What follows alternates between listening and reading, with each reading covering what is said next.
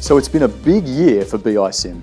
This year we're very excited to be celebrating our 10th I/ITSEC anniversary.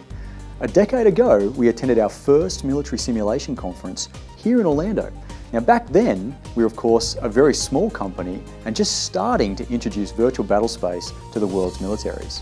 Now since then, thanks to the goodwill of our customers, our company has grown and now VBS3 is the most widely used game-based simulation in the world today.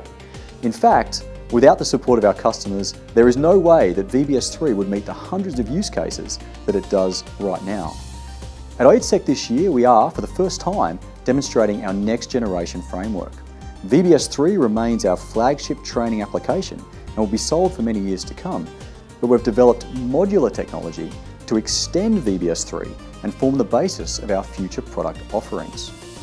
We're very excited to reveal VBS Blue, which is our new modular rendering engine. It's entirely based on VBS technology and delivers high fidelity planetary rendering and includes both a data manager and a C++ API. VBS Blue provides a robust architecture for planetary visualization. You can import your own data and take control of VBS Blue via the provided API. Soon, we'll be adding a state-of-the-art, easy-to-use terrain editing interface and many options for terrain export via TerraTools technology. VBS Blue has already been integrated into VBS IG and will be demonstrated at I/ITSEC on an F-16 simulator in a six-channel dome.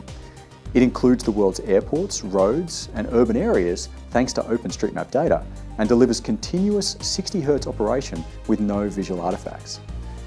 Now what this means for our customers is that they can leverage higher fidelity, game-based simulation technology that performs as well as, and in many cases better, than traditional image generation.